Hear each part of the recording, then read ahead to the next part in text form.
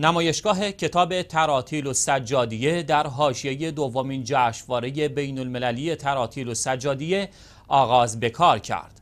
این نمایشگاه به خاطر تنوع و گستردگی محصولات پیش از آغاز جشنواره و با شعار رساله حقوق امام سجاد علیه السلام آغاز به کار کرده است.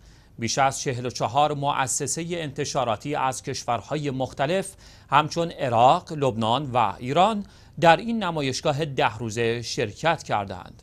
علی العلی مدیر این نمایشگاه در مصاحبه با شیعه گفت نمایشگاه کتاب تراتیل و سجادیه برای سومین سال متوالی و با شعار رساله حقوق امام زین العابدین علیه السلام در ایام شهادت حضرتش در شهر مقدس کربلا برگزار شده و ما امیدواریم از طریق این نمایشگاه فرهنگ غنی اهل بیت علیهم السلام را با محوریت رساله حقوق امام سجاد علیه السلام منتشر کنیم.